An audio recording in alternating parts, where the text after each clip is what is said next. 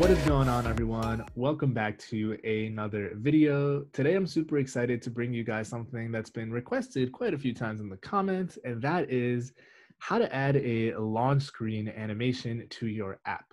So basically what you just saw there, let's see that one more time. You can add a super slick animation uh, to your app launching. In this case, we have the Instagram logo kind of zooming in and fading out, kind of like Twitter to a degree. Teach you guys how to set it up where you can have your own custom animations. You can apply this to uh, different kinds of views. And of course, it is uh, fully dark mode supportive. So if we go back and open that up one more time, whoops, let me close this and reopen the app. We'll see that it looks just as nice in dark mode. Uh, and yeah, so we're gonna take a look at how to build this from scratch, no frameworks, all on our own. That said, make sure you absolutely destroy that like button down below as always. Let's absolutely destroy it so Google has to go back and fix it. Hit subscribe while you're at it if you've been watching and enjoy these videos. Get Xcode ready, get excited. Let's look at some awesome animations. Quick pause before we get into the video. If you haven't seen it already, I am hard at work putting together iOSacademy.io, a community where all of us iOS engineers can come together, learn how to build some of the top apps like Facebook, YouTube, and Instagram, in addition to interview prep to land some of these iOS roles at top tech companies.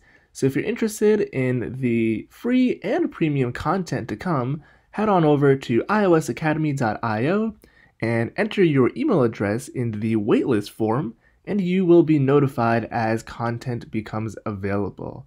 That said, let's get into the video. All right, so we're gonna get started by opening up Xcode and creating a new project. We're gonna stick with a single view application and I'm gonna go ahead and call this launch screen animation. Hit enter and save it wherever you'd like. And let's jump right in. So the very first thing we're gonna do is pick a simulator up here and hit that run button to get that booted up.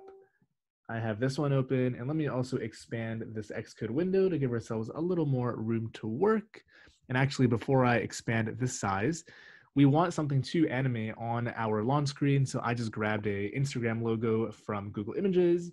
Uh, this method works for uh, labels or anything uh, that you want to animate, but we want to bring this image in for the purposes of this demo. So go ahead and open up your XC assets, create a new image set, and I'm gonna go ahead and call it logo and drag this guy in. Now we can expand this side of the window and go to our view controller and talk about how this whole thing works. So animation uh, as a launch screen is pretty simple actually. So there's two parts to it. The first part is a bit of a visual trick and the second part is a view controller transition. So the way it works is we have this launch screen storyboard, which is where uh, we can obviously put our things that we want to show on the splash screen once the app is launching. However, you cannot perform any animations on here. So how do we achieve the effect?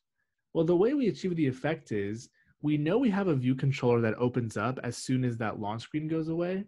And the visual illusion is we make this view controller look identical to our launch screen storyboard, and we can perform animations on here.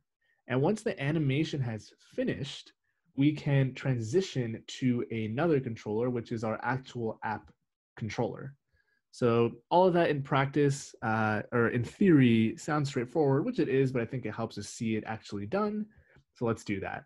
So we're gonna come into our launch screen storyboard here and find an image view, drop it on in. Let's change the image to that logo we brought in. And we need to add some constraints. The first ones I'm going to add are to horizontally and vertically center it in the container. And then we're going to also add width and heights. So I'm going to say 150 by 150. If you go ahead and hit Command R, you'll briefly see that the image shows and then it transitions to our view controller here. So now we, what we want to do is we want the view controller to mimic our launch screen as a starting position. And in here, that means we need to create an image view like that. And we want to create one. So the frame, we can say the X and Y are zero. And we know the width and height are 150 by 150, so you can go ahead and hard code those in. We want to, of course, set the image to a UI image with a name, and the name is going to be logo. And then we can, of course, return said image, put the parentheses there so it becomes a constructor like that. And then we want to add this as a subview to our view controller. And then in view did layout subviews, we want to call super, whoops, we want to call super view did layout subviews. And then we want to center this image view to be centered on this screen. So now when you run it, you'll notice that the launch screen comes and goes, but our view controller looks exactly the same. So you can't visually discern when the launch screen started and when the view controller began. So I'm gonna set a background color so you guys can uh, see the difference and why it's a visual illusion. So we started at the launch screen and then we came to the controller. And now in this controller, we can actually perform animations and stuff. The animation we're gonna perform uh, in this video is similar to the Twitter animation, if you guys are familiar with what they do where this logo is going to basically expand and like we're going to zoom into it and then it will fade into our actual app. So for our actual app's content, we want another view controller, right? So we're going to right click and do new file, pick a Cocoa Touch class and subclass a UI view controller. I'm going to call it home view controller. And in here, we're simply going to set a background color. We're simply going to say view background color is link and now let's actually go and work on that animation. So let's get rid of the background color here. And what we want is create a function called animate, just to keep things separate. Once we have laid out the actual image view, we'll call that animation function. And one thing that I like to do is you want to call this animation function with a bit of a delay so the user can see the starting position. So we'll use dispatch queue main thread, and you want to perform uh, that function async after now plus half a second. And then in here, call that animation function. Like I said, this just delays uh, the actual execution. And in here, we're gonna use a very simple animation. Let's say UI view animate with duration. We'll make this one, make it a reasonable duration for the animation. And we're gonna increase the size. That'll be the first thing we do. So I'm gonna say the standard size is going to be self dot view frame size width times 1.5. And we're gonna want to update the image views frame. And it's gonna obviously be a CGRect with a X, Y, width, and height. And let me put these on new lines so my OCD doesn't go wild. I don't know if it's just me, but my code has to look perfectly aligned. Uh, so for the X and Y, we're gonna do some calculations up here. We wanna get the difference in X, which is going to be size minus self.view.frame.size.width.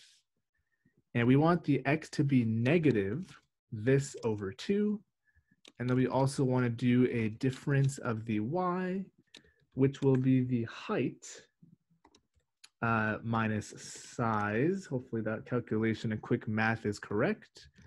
And this will be diff y over 2. So basically what we're saying is we're going to make the size of the image view larger, which is going to be the width of the screen uh, multiplied by 1.5. So it becomes off screen a little bit. The difference of the x the new x, we want negative uh, of this difference over 2. And the difference of this y is we want the difference of uh, diff y over 2, which keeps our image view centered.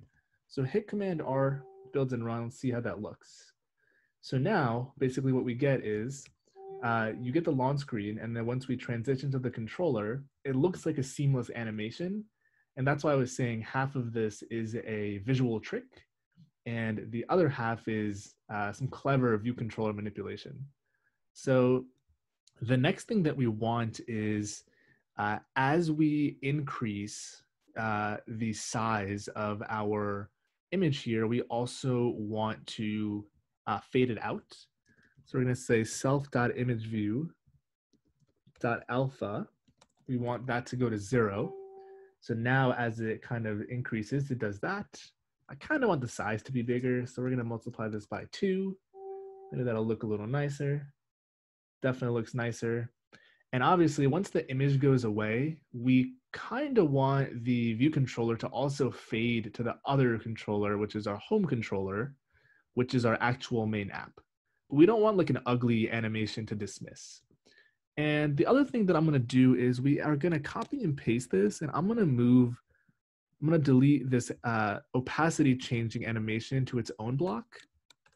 And I'm gonna make this one slower than the fate than the uh, the other one, which increases the size so it looks nicer. And let's bump this size once more.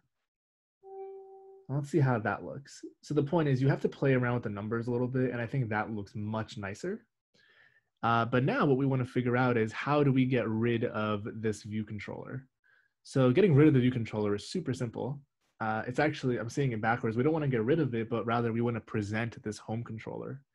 So to present a controller, as you guys know, you first need to create that controller and you can simply call present on it with an animation like so but we want the animation to be a fade. So we can update the modal, I believe it's called modal transition style. And there are some animations baked into this already. And the one we want is cross dissolve, like so. But we want this to happen after the animation ends. So you have one of two options. Uh, this animation for the fade out is longer than the other one, so you can use this one but there is a completion parameter in here.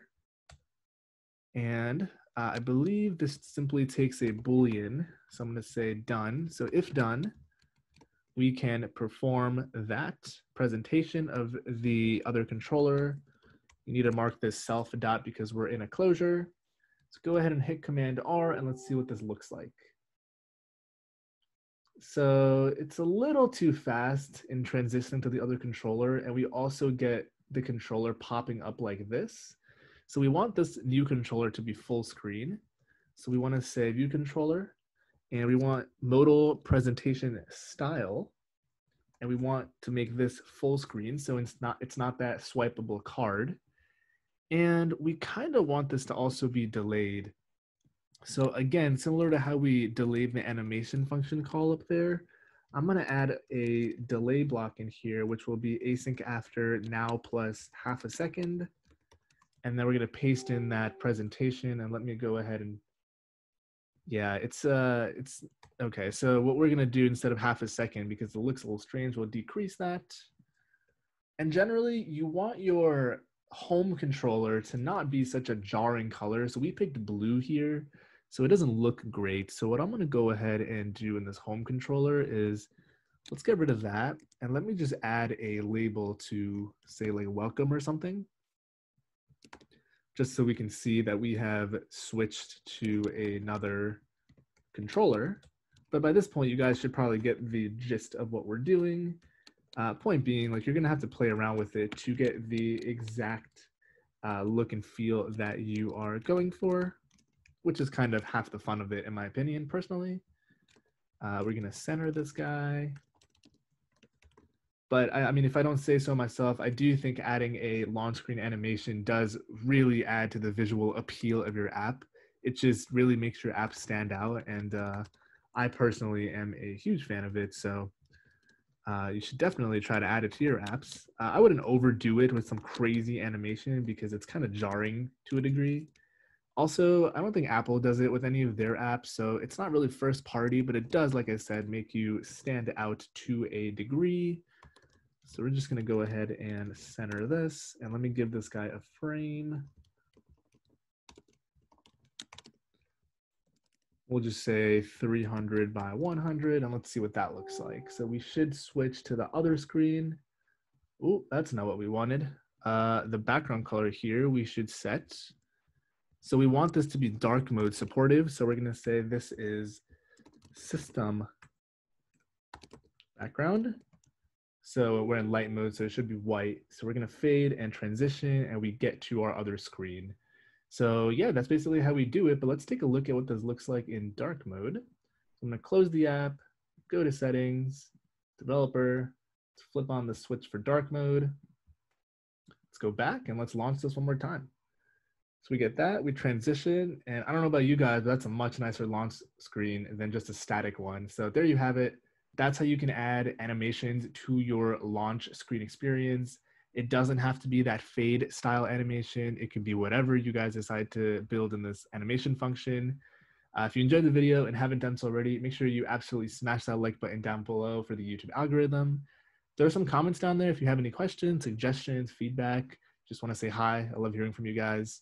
Uh, hit subscribe also if you haven't done so already. I think the majority of you guys that consistently watch haven't subscribed, so hitting subscribe definitely means a lot. Would really appreciate it. Thank you so much for watching. I will catch you in the next one.